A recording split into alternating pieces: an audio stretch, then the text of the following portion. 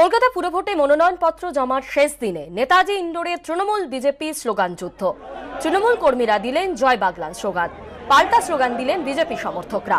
তৈরি হয় উত্তেজনা, রাস্তা বন্ধ হয়ে যাবার উপক্রম হয়, পুলিশ বাহিনী দুপক্ষের কর্মী সমর্থকদের সরিয়ে দেয়।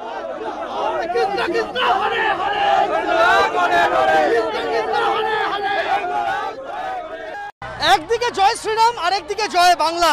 এই মুহূর্তে স্লোগান, পাল্টা স্লোগানে একেবারে মুখরিত নেতাজি ইন্ডোর স্টেডিয়াম চত্বর। যুযুধান দুই শিবির, একদিকে তৃণমূল কংগ্রেসের সমর্থকেরা, আরেকদিকে বিজেপির কর্মী সমর্থকরা। তারা এখানে স্লোগান এবং পাল্টা স্লোগান দিচ্ছেন। মনোনয়ন পেশের শেষ দিন, একেবারে জোরদার স্লোগান যুদ্ধ আমরা দেখতে পাচ্ছি এই মুহূর্তে নেতাজি ইন্ডোর স্টেডিয়ামে। তার কারণ হচ্ছে যে কলকাতা পুরসভার এক, দুই এবং পাঁচ নম্বর বড়র মনোনয়নের গোটাটাই হচ্ছে নেতাজি ইন্ডোর স্টেডিয়ামে একে একে বিভিন্ন রাজনৈতিক দলের প্রার্থীরা আসছেন এবং তারা মনোনয়ন জমা দিতে যাচ্ছেন। কর্মী সমর্থকেরা, তারা বাইরে এখানে স্লোগান, পাল্টা স্লোগানে একেবারে সরগরম করে রেখেছেন এই চত্বর। এবং বামেরাও পিছিয়ে নেই। আমরা দেখতে পাচ্ছি যে ব্রাম প্রার্থীরা তারাও আসছেন এবং তারাও এই নেতাজি ইন্ডোর স্টেডিয়াম চত্বরে তারাও, তারা স্লোগান যুদ্ধে নেই, কিন্তু তারা এখানে তাদের অস্তিত্বের যে রয়েছে, সেটা ভালো রকম বুঝিয়ে দিচ্ছেন দুই শিবিরের মাঝখানে থেকে।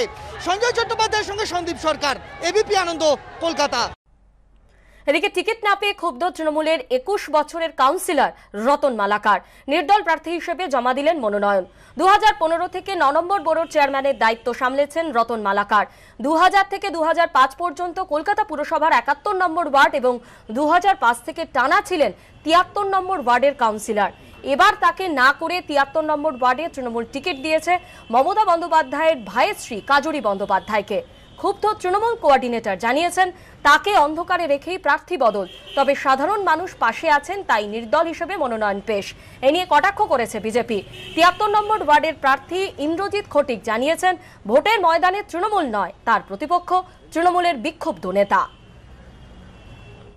সত্য অন্তহীন, সত্যের খোঁজও তাই। সত্য সন্ধানে তাই আমরা অক্লান্ত, অকুতভয়। এবিপি আনন্দ নতুন ভাবনার প্রতীক, যা মনে মুক্ত তথ্যে যুক্ত এবং যাবতীয় সীমানার বাঁধন থেকে মুক্ত।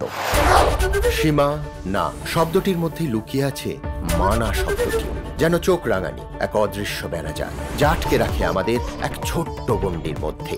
একমাত্র সঠিক খবরই গড়ে তুলবে এক মুক্ত সমাজ। সেই জগৎ গড়ার লক্ষ্যে কোনো সীমানার ঠুকুটি আমরা মানব না। এবিপি আনন্দ, এগিয়ে থাকে, এগিয়ে রাখে।